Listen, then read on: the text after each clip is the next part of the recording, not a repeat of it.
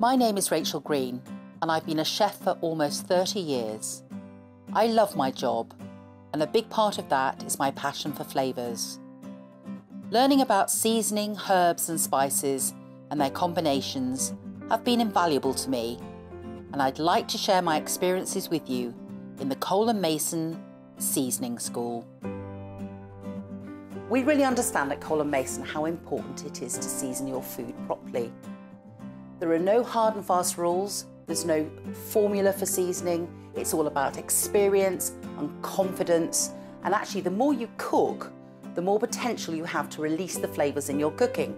Now, to make this more fun, I'm going to show you some very unusual ways to use herbs and spices in your cooking. For example, it isn't just about main courses and starters. You can use spices and herb all the way through the spectrum, from baking to cocktails, to making some sugars, to jams and preserves. It's limitless.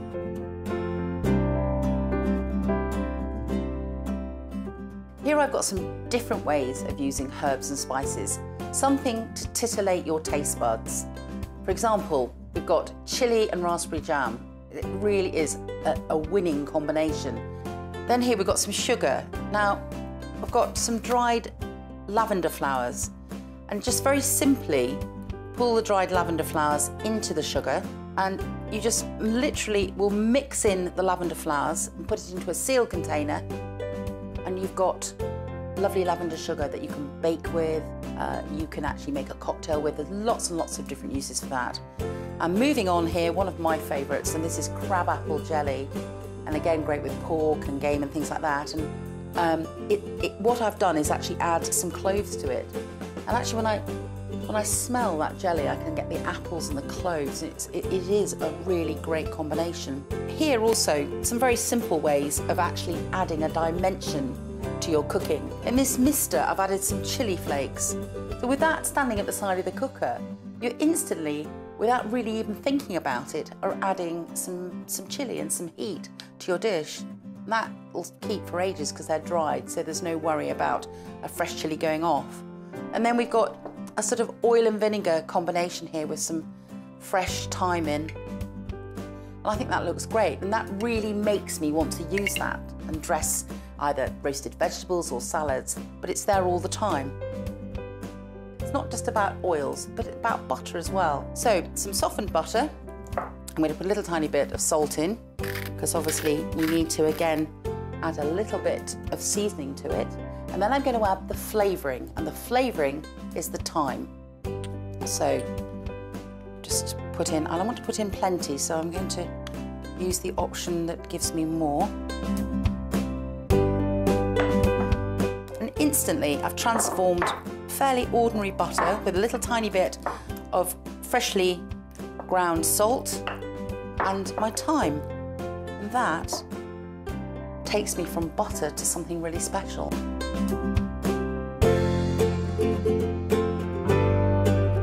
I've got a lovely selection of breads here. We've incorporated caraway seeds and fennel seeds into it. It's just a simple shake into the dough. It just works so easily. And then going on to one of my favourites, which is mango and chili sorbet. You get that lovely fresh taste of the mango and then that explosion of heat from the chili. It's a great combination. And then we all have lots of herbs in our store cupboard, and particularly mint people have. And it's so simple to make your own herb tea. So literally, I just put the mint into the middle of the diffuser of the teapot and just get some boiling water. And you leave it for about three minutes to infuse. And you get this, I just love all these herb teas. So refreshing after a meal. Lovely, refreshing mint tea. So not everybody likes tea, but a lot of people like coffee. And this is, again, a, a fabulous uh, way to make different coffees. And it's using cardamom pods. What you do is you take the seeds out the pod, you just get the black seeds like that, and you crush them, pestle and mortar, whatever, and you put them into the ground coffee and you make your coffee as normal. And you just smell and the aromas of this fabulous coffee. Mm. Lovely.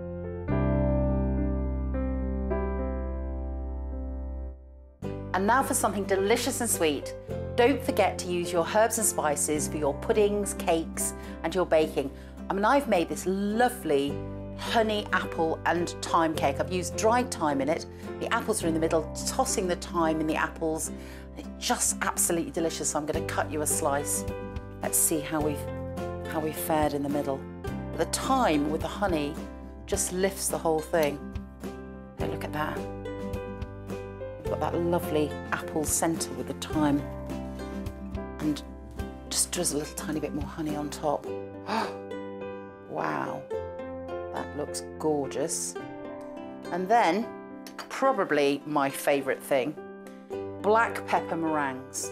Just so simple to do, a meringue mixture with some quite finely ground black pepper into them and just bake them as normal and then serve them with strawberries because black pepper and strawberries is a fabulous combination. So to just finish this dish, I'm going to put a little bit more pepper on top, on, particularly on the strawberries. And then I'm just going to drizzle some balsamic vinegar on. And do you know what you need with this? A whole load of mascarpone. Look at that. Now that, for me, is very different.